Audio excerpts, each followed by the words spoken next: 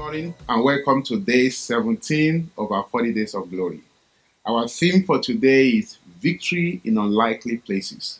Victory in unlikely places. I'll read from 2nd Chronicles chapter 20 verse 25. The Bible says, When Jehoshaphat and his people came to take away their spoils, they found among them an abundance of valuables on the dead bodies and precious jewelries, which they stripped off for themselves more than they can carry away. And they were three days gathering, I mean, they, and they were three days gathering the spoils because there was so much. Praise the Lord. At times, you know, in our lives, this Bible passage tells us that Jesus, God, can give us victory in unlikely places. Uh, you know, there are times that we are in situations and then we look at it very well, we think that victory is never in sight uh, it's not possible to get victory out of this situation, or it is difficult to get victory out of this situation. This is what Jehoshaphat confronted here. The Moabite had attacked his kingdom and uh, with other nations, you know, a group of nations, and then they, they came, uh, they attacked his, uh, his kingdom, and then it was a battle he believed he would never be able to win. But he gathered the people of God together and they sang to the Lord. For the Lord is good, his mercies endures forever.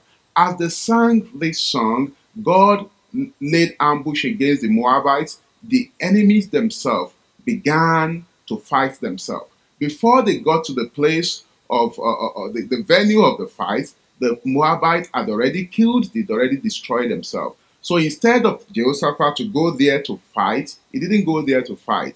He went there to gather uh, to gather spoils. And today I pray to you, instead of fighting, you will find in the name of Jesus. Everything you are preparing to confront, the Lord will win your battles even before you've lifted a finger in the name of Jesus. Before you get to the venue, because before you get to the point where which is critical, the Lord will win your battles ahead of you. He will go before you and he will win your battles. Here, Jehoshaphat got victory in unlikely places. It was a war that believed the enemy was stronger than they were.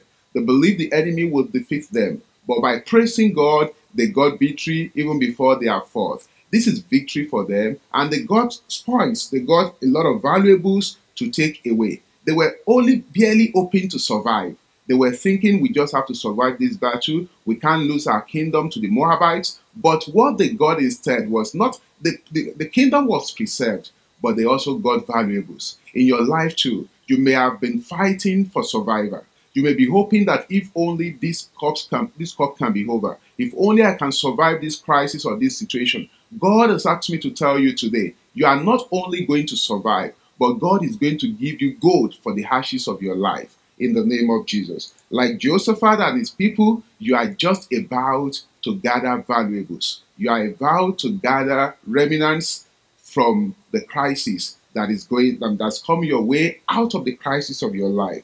God will provide abundance for you in the name of Jesus. The God, God is going to do a new thing in your life and his name will be glorified. So get ready, like Jehoshaphat, to win your battles in unlikely victory, to achieve victory in unlikely places.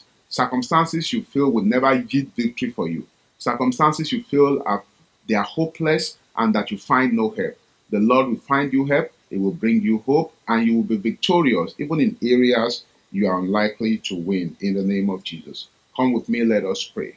Father, Lord, we bless you for today and we pray that you will give us victory in unlikely places in the name of Jesus. Every situation in our life that needs victory, every situation in our lives that needs that needs to be touched, every crisis we are going through, I pray, oh Lord, you will go before us and you will win our battles for us in the name of Jesus. Before we've lifted a finger, you will win, heaven will win our battles for us in the name of Jesus. And I declare unto you today, you're about to reap from, you know, the, the, the agonies of your life, the tribulations you have faced, the afflictions you have faced, they are producing honey for you. They are producing new grass for you. They are producing new wine for you. And they are producing success and victory for you in the name of Jesus. May you gain victory in unlikely places. For in Jesus' mighty name we have prayed.